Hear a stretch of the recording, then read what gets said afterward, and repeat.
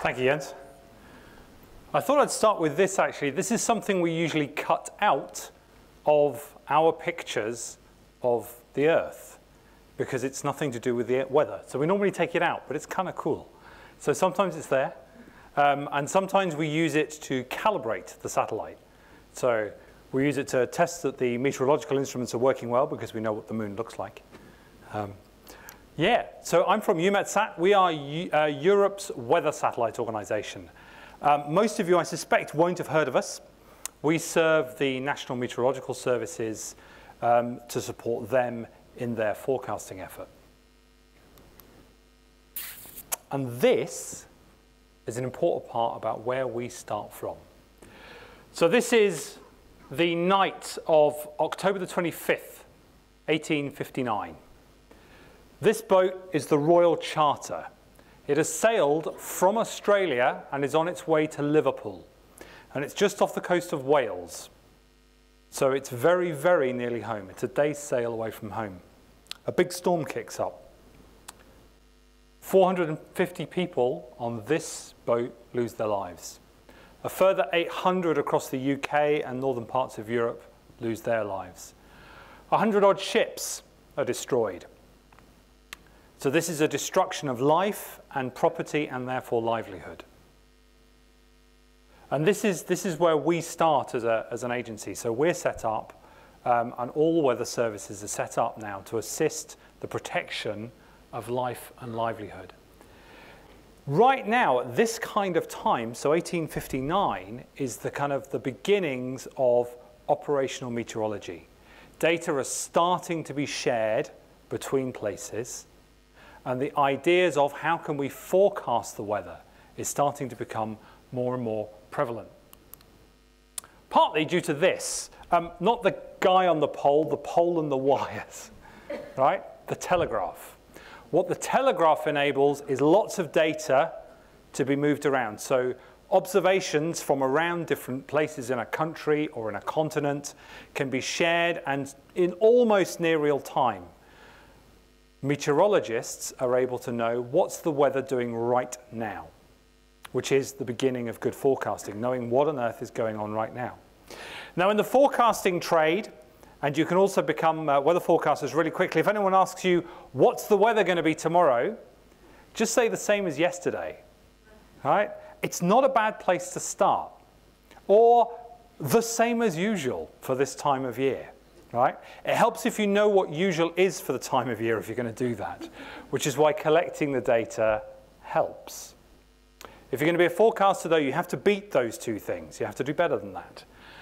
Those two things, climatology and persistence, don't do you good stead for big storms like this one.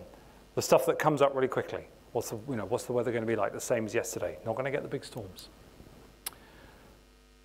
What's interesting here is you've got the guy climbing the pole. Um, this was from the US National Archive. I think he's trying to hack the system. I love the caption where it says, uh, you know, he's doing all of this, so the connection, which is broken, can't be seen from the ground. And of course, in this sort of setup where you've got the telegraph and what have you, you haven't got an open system. You haven't got what we're trying to get to today, which is open data, data available for all. So it's still within a closed system, but round about the mid-1850s, this is what you're seeing. This is meteorology starting to explode. You're able to move data around continents. You're able to get a near real-time picture of what the weather's doing now. This does two things. This helps scientists understand what the weather does. You can develop the meteorological theories. And it also helps you then know what's going on now so you can forecast what's going to happen next. This doesn't cover the oceans, though. You can still hide a big storm. You can still hide a hurricane. Until this. This is the 1st of April 1960 when the first meteorological satellite is launched, TIROS 1. So this is an incredibly exciting picture. Until this point, no one's ever seen what a whole weather system looks like from above.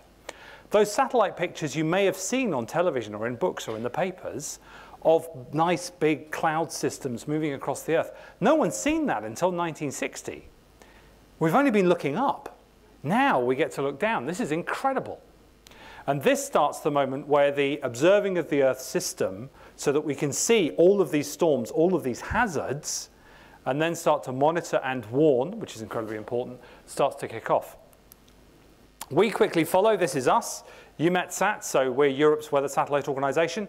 Weather satellites are incredibly expensive. So all the nations there in Europe, so we have 30 member states, come together so that we can work together to have satellites. The picture up there you see is a control room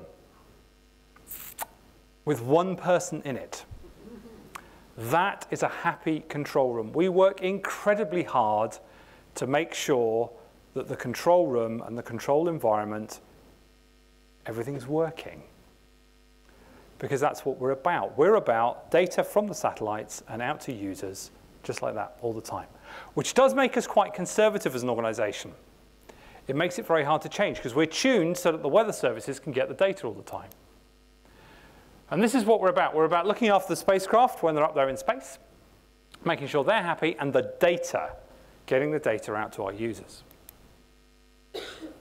And this is us. So we can now see, this is one of the first images from our, what we call the geostationary image, so looking at our part of the world and focused in on a, a hurricane in the Caribbean. And these are the sorts of things that we're looking at all the time and sharing with our users all the time.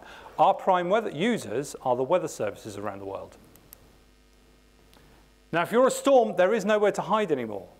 And this is due to global cooperation. So we look after the bit in the middle, and there are other satellite operators that look after the bits around.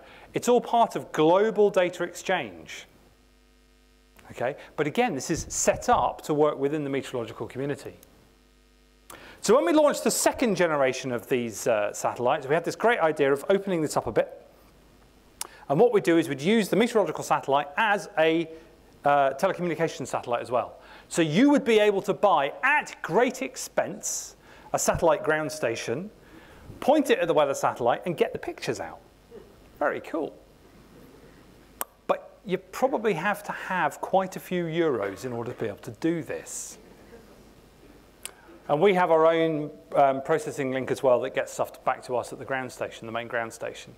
And we're also collecting data from other places. So we're starting to use the weather, site as, uh, weather satellite as a way of getting lots of data to you, as well as the satellite pictures, which is kind of cool because the satellite pictures by themselves gives you a picture, but this isn't integrated science. We want data from all over the place. Problem is, you see the four kind of black boxes over here? It didn't quite work. And this is the little failure. There was an idea knocking around at the time to start to use normal, off-the-shelf satellite television equipment in order to broadcast this data. Those were the things that were meant to transmit the data from the spacecraft to your nice, big, expensive satellite receiving dish. Didn't work. Brilliant. This is brilliant because the plan B that's being worked on now has to, now has to become plan A. So this is, a, I think, partly a story of innovation. You can have these nice ideas. You can think, yeah, yeah, we're going to do this. This will be great. But actually, sometimes the universe gives you a very big kick, and you, you really have to do it. And so what now happens is you just need one of them. Standard satellite TV dish you got on your roof. And bang, we now have users all around the world many, many hundreds of users. Some of these users are amateurs. They're people who are doing this for fun. Got a satellite dish on the roof, getting, getting all the data. And the amateur users are quite fun because they've got the time to find every mistake we make, which is great because that's good feedback for the operational users. So what this does, what this error does is really open up our dissemination system. By reducing the cost, it really opens it up. It opens up to weather services around the world. So this is the system that all around Africa people use to get the data as well as amateurs. So we've now got other users who are coming into our world. Now that's one of the problems, people are having to come into our world to get the data. So we're working hard to you know, get more data on the website. We've got a web map server that we've just launched. Play with it and give us feedback. Really useful, because then we'll change it so it's more useful. Really, really useful. So we've got a lot more people using the data. Massive explosion. And then what happens is bang again. Other people start going, hey, You've got a great way of getting data to operational users who need to use it. Can I use your system to disseminate my data as well? So you can now get computer model output data. You can get data on the state of the Earth's atmosphere. You can get statement, uh, data on the Earth's ice. You can get data on land from a whole range of providers, not just us, going through this system. So what's happened is you've now got this massive explosion of data, and you can now have, if you need more data, 200 kilobytes, uh, 200 gigabytes a day of the stuff across a whole range of Earth in, um, and Earth observing disciplines. And it's there and it's available to you almost no matter, no matter where you are in Europe, the Middle East, and Africa. So this whole tiny little error, tiny little failure on a spacecraft has really helped us to open up our data. The whole conversation about big data in other parts of society is really pulling us to open that out because at the moment we're still tuned to work with weather services. Why? Because they're in the protection of life and property business and that's the main people we serve. But opening it out to serve a wider science community is important to us. So this is you. So I'm assuming that there are very, very few meteorologists in the room and almost no one who works in the National Weather Service. So you're the people, you're new to us. You're not the people we're used to working with. So your feedback really does matter to us because that's going to help us to be able to learn how to address wider communities than we do now.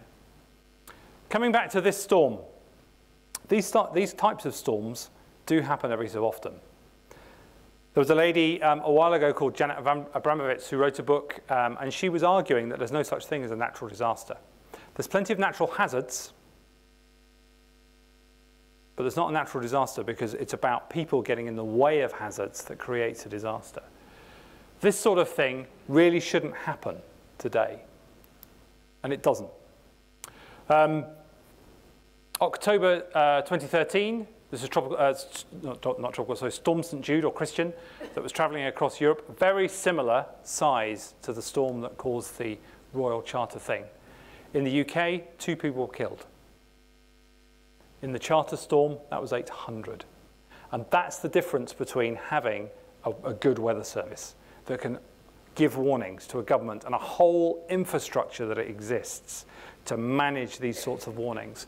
And that's a lot of what we're about. At the beginning, the very beginning, our hosts um, told a story about working with a uh, company on having the best weather app, and actually that turned into something out else. Actually, there are very few people who need to know what the weather is. Invariably, you need some information so that you can make a decision. And that's what's going on here, is actually having the information to make decisions about what should we tell people to do and not do to, say, to stay safe or to properly exploit their, their environment. So that is what we're about as an organization, really. We're about looking after the spacecraft, we're about the data, but we're also about contributing, contributing to the system that keeps us all safe and economically active. But there's also one of the great privileges of playing with this data is it's beautiful. Thank you very much.